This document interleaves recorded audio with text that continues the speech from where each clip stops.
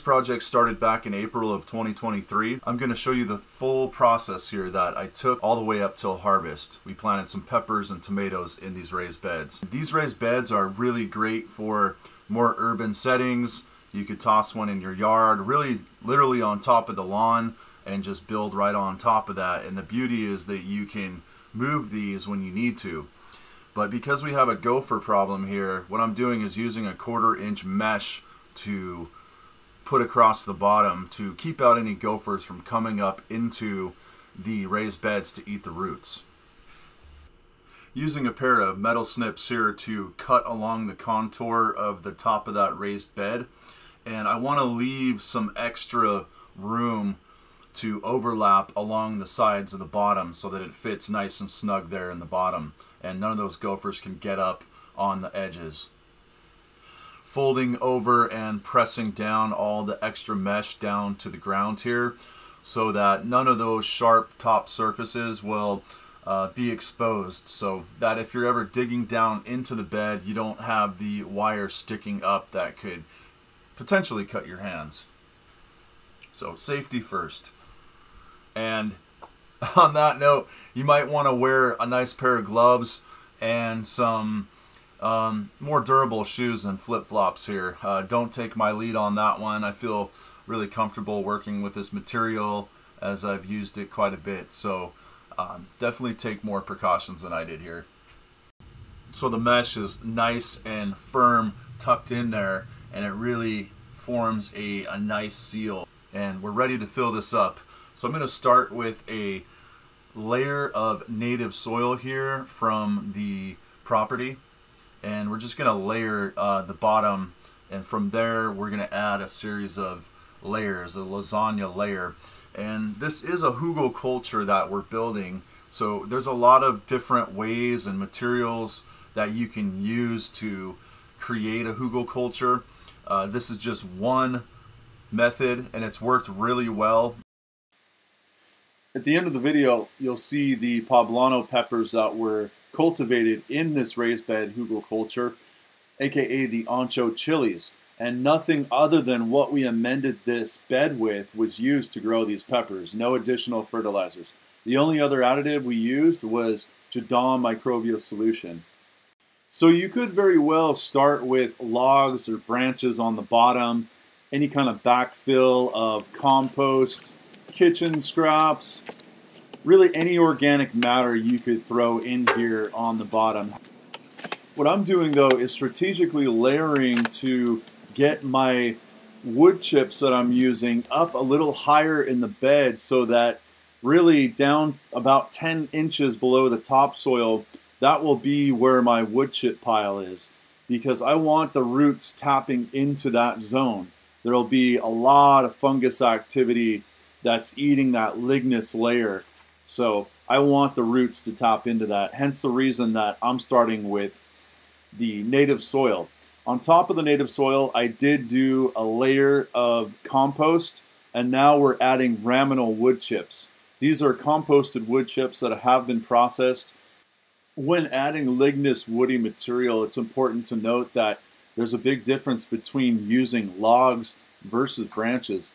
Ramial branches are the branches off of trees that are less than a five inch radius and they have a much higher density of minerals. So that's a very different component than adding big logs. So a lot of times people just think of woody material as woody material and it's really not all created equal. But usually what you want to do is start with your biggest logs on the bottom using a hugelkultur because they'll take the longest to break down naturally. And from there, you would layer larger branches, and on top of that, you would do twigs or wood chips. On top of that, you could do some leaf litter. So these wood chips were branches that were chipped down and composted in a big bin for several months. And they heated up to a thermophilic heat, and there was a lot of fungal growth growing through them. So they have been composted and processed down quite a bit. And now I'm walking through compacting down. Generally, you don't want to compact your topsoil, but when you're making a hugelkultur, it's really important to get everything really settled, all your layers really settled in. If you have big pockets and gaps, you're going to have settlement where it drops down, and it can also lend itself to housing rodents or other problematic animals. I have witnessed that one firsthand when I was part of a workshop installment of a hugelkultur bed at a food forest in Williams, Oregon, and we actually saw a family of rabbits living in a big hugelkultur because of the lack of settlement. Adding another layer of compost on top of our wood chips. So in this hugel bed approach, I've actually sandwiched the wood chips between two layers of the nitrogen-rich compost here. And this is uh, something I learned in the past. If you don't balance your carbon to nitrogen ratios, then you can get in some problems with your hugo hugelkulturs. So it's really important to add the necessary amount of nitrogen with the carbon, especially if those wood chips or any of that lignous material you're adding has not been processed and composted down. Good ratio there would be 30 to 1, 30 parts carbon to 1 part nitrogen. This is a great composting ratio. It also works really well in the hugel mounds.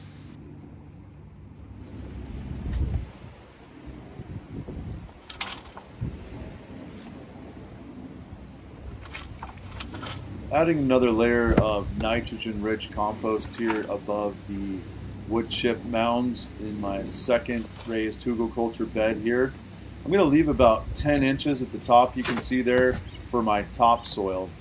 And here you can see this is some very rich compost from a local company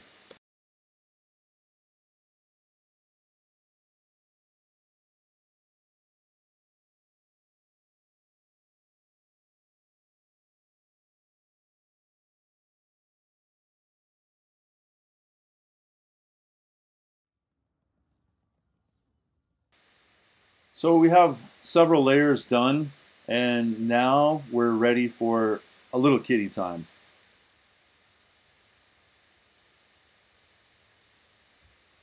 Now we're ready for the topsoil. This is a premium blend of topsoil. You want to use the best blend that you have for the very topsoil here.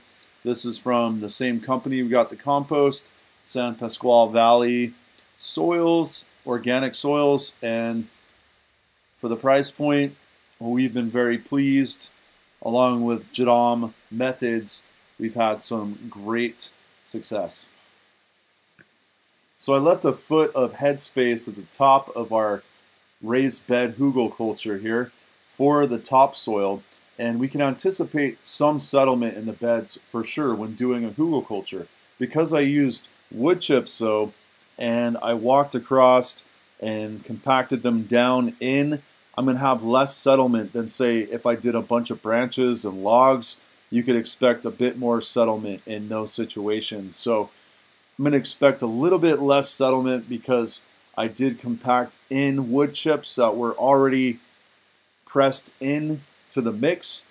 But that's all right if you get some settlement. You can always top off your bed and really, I look at this method as a soil building method that you're really culturing a lot of microbial diversity along with all that lignous matter that you're putting in here. And again, you can really tailor this to whatever you have on hand to fill up your raised beds. Again, you could consider things like your kitchen scrap compost. You could consider manure. You could consider leaf litter that you've raked up from the season, any type of trimmings from the trees, grass clippings, anything like that, but try to keep your carbon to nitrogen ratio around 30 to 1, 25 to 30 parts carbon to 1 part nitrogen, and that should give you a really nice balance. There's several benefits to gardening with raised beds. A few of those are First off, you don't have to trench out hard compacted ground or do any heavy tilling. Number two, you get great aeration to your bed. So it's very hard to overwater a raised bed. Sometimes that will require watering a little more often though. in a gopher infested area, this is a way that you can really fortify your beds to protect against gophers coming in and eating your roots. I have had a lot of issues in some of our planted beds in the soil. If you have any good advice for combating gophers, I would love to hear. Please feel free to share and comment down below. So our two raised hugelkultur beds are now fully layered with our native soil, our layer of compost, sandwiched with the wood chips, with another layer of compost like an Oreo cookie, along with about a foot of great topsoil on top of all of that.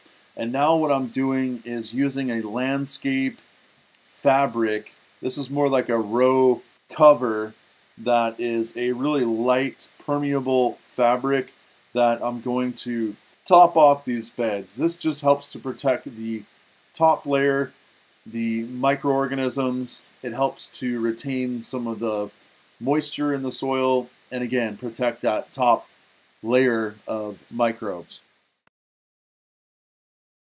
Trimming up my row cover on top here, again to protect the beneficial microorganisms in the topsoil, really from the UV rays. I mean, anytime we're doing living soil, we always want to have some kind of cover on top. Whether that is a landscape fabric, which can be controversial, or a natural mulch or a cover crop. I always use a permeable fabric, and I've had good luck with some permeable landscape fabrics. This is recommended in some of the Jadam method, but in the right situation, natural mulch is always a good way to go as well. And I'm just using some of these landscape stakes you can see here to stake down my fabric and again trim along the edges.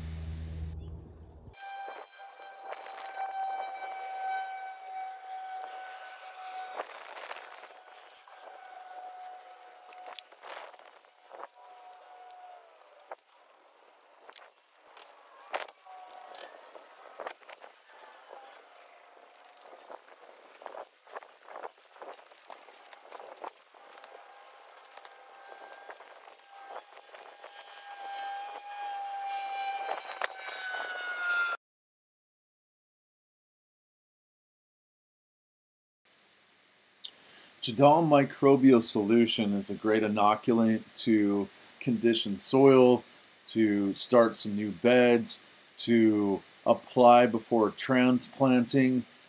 It's really just a great way to add a diversity of beneficial microbes to the soil that will help to condition and build the soil as well as that symbiotic relationship that happens between beneficial microorganisms and plants.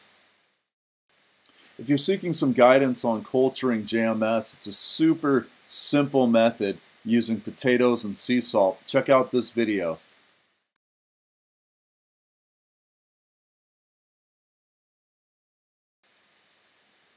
That about does it for our hugelkultur raised bed preparation. And now let's fast forward into the future to check out our pepper plants.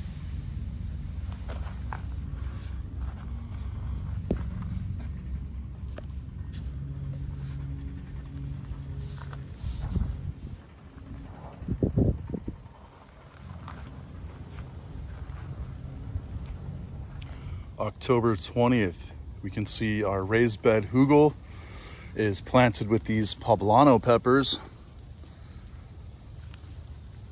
And no feeds were added to this whole bed. The initial hugel that was charged with the manure and the inoculated wood chips here has provided all the nutrients for these pepper plants here. Some beautiful poblanos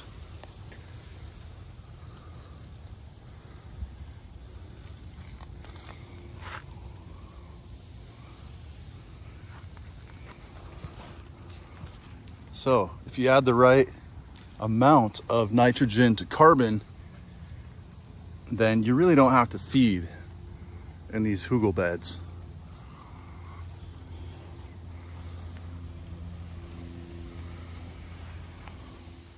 And of course, the ancho chili, also known as the poblano pepper, is the traditional Mexican pepper for Mexican cuisine for the illustrious chili relleno.